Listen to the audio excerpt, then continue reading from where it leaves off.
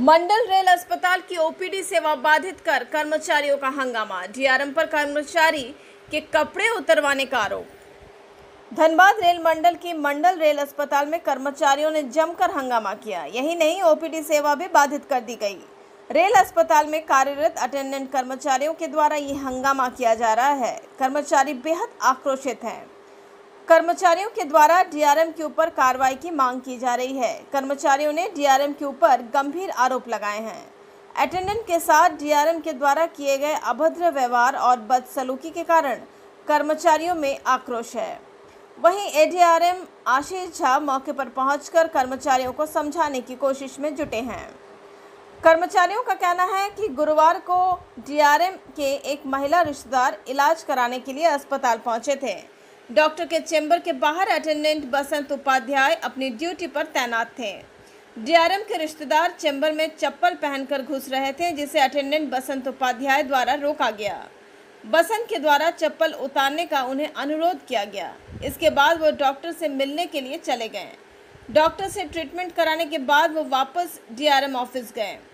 DRM office से बसंत उपाध्याय को बुलाया गया। बसंत उपाध्याय डीआरएम ऑफ़िस पहुँचे। कर्मचारियों का आरोप है कि डीआरएम ऑफ़िस में बसंत को प्रताड़ित किया गया है। बसंत के द्वारा चप्पल उतारे कह जाने पर उसे उसके कपड़े तक उतरवाए गए हैं। कर्मचारियों ने बताया कि इस घटना के बाद पीड़ित बसंत उपाध्याय डिप्रेशन में चले गए हैं। उनके द्वारा घटना की जानकारी कर्मचारियों को दी गई। उनके डिप्रेशन में चले जाने के कारण तबीयत काफ़ी खराब हो चुकी है। उन्हें इलाज के लिए रेल अस्पताल भी लाया गया, जिसके बाद डॉक्टर के द्वारा बेहतर इलाज के लिए दूसरे अस्पताल में रेफर कर दिया गया है। बसंत आईआईटी आईएसएम के समीप के रहने वाले हैं। वहीं मौके पर पहुँचे एडीआरएम आशीष झा ने कहा कि मामले की कोई साक्ष्य नहीं है। फ़िलहाल कर्मचारियों के द्वारा रेल अस्पताल की ओपीडी सेवा बाधित कर दी गई है। उसे सुचारू करने की कोशिश की जा रही है। अपना ये लगाए हैं। अधिकारी तो कुछ जानता नहीं वहाँ क्या हुआ लेकिन मतलब कुछ ना कुछ एक्शन लिया गया है उस स्टाफ में ना कुछ ये है। वो यहाँ कुछ वेलफेयर एक्टिविटीज़ के लाई थी। तो जो, जो यहाँ से पता चल पा रहा है कि चप्पल खोलने को बोला गया था।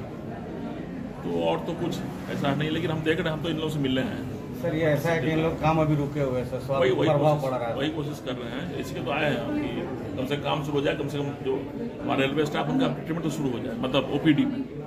चलिए हम देखते हैं। ठीक ठीक। वो क्या नाम है उनका? बसंत उपाध्याय उनको डेंटल में कल ड्यूटी मिला था। वहाँ पे बोर्ड में टंगा हुआ है कि आदेश का पालन करना है कि चप्पल जूता बाहर खोल के ही अंदर जाना है। वो डॉक्टर डेंटल की डॉक्टर बोल रही थी। ये क्या नाम है? बसंत उपाध्याय को। हमारे स्टाफ है वो। उनको बोला गया कि जो भी पेशेंट अंदर आएँगे, उनको चप्पल जूता खोल के अंदर लाना है।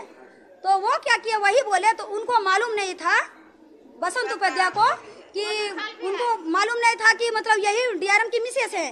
तो वो बोले कि चप्पल खोल के अंदर जाइए। बस यही थोड़ी सी बात के लिए आज हम लोग को यह धारणा देना पड़ा है।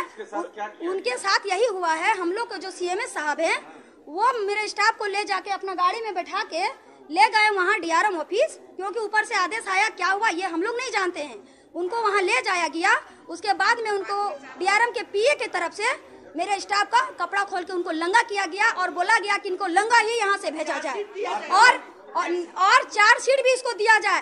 तो कहिए कि आज हम लोग को आदेश का पालन को करते हुए और हम लोग को लंगा किया जाएगा तो बताइए सर अब हम लोग कैसे ड्यूटी करें और किन का आदेश का पालन करें? और मारपीट नहीं वो पेशेंट ही जानेंगे वो अभी देखिए इस हालात में आ गए हैं कल से बहुत ज़्यादा डिप्रेशन में है वो।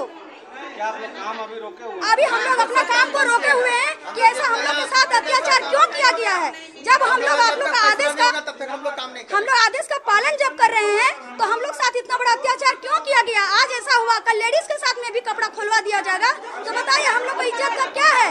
हम लोग को इज़्ज़त का परवाह कौन करेगा?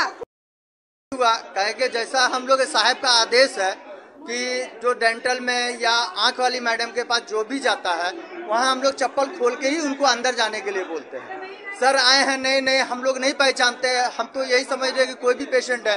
तो वह हमारे जो साथी हैं, वो बोले कि मैडम, आप चप्पल खोल के अंदर जाइए। तो उसको पता नहीं था उनको। ये तो शायद अभी हम लोग को पता चल रहा है कि नाम हम लोग को नहीं पता, मगर डी आर एम साहब की वाइफ सुन रहे तो इसलिए इनको हुआ कि हमारे सीएमएस साहब जो है, उनको आदेश हुआ वहाँ से कि उनको लेके आया जाए। हमारे जो सीएमएस साहब हैं, जो डीएल चौरसिया साहब, वो यहाँ से लेके गए और वहाँ पे उनका कपड़ा खुलवाया गया। अगर उनका कपड़ा खुला तो पूरा डिपार्टमेंट, हम लोग मेडिकल पूरा डिपार्टमेंट का कपड़ा खुल गया। हम लोग का कोई इज़्ज़त नहीं रहा। एक उनका चप्पल से हम लोग के ड्रेस से, हम लोग के वर्दी से अगर ये होता है तो ये तो गलत है। हम लोग का कोई वर्दी का वैल्यू नहीं है। फिर से हम लोग, कोई हम लोग सादा ड्रेस पहन के मेडिकल वाला, कोई हम लोग नहीं आएँगे। हाँ लंगा किया गया। अभी आप देख सकते हैं कि उनका क्या स्थिति है। एकदम डिप्रेशन में, अगर उनको अगर अभी कुछ हो जाता है तो उनके परिवार को कौन देखता? ऑक्सीजन लगा हुआ है। बीपी देखिए, अभी डेढ़ सौ, दो सौ जा रहा है। आप ये चीज़ को देख सकते हैं, इसी जी खराब है। बोलिए, ये डिप्रेशन में अगर उनको कुछ होता है तो उनके परिवार को कौन देखने जाएगा?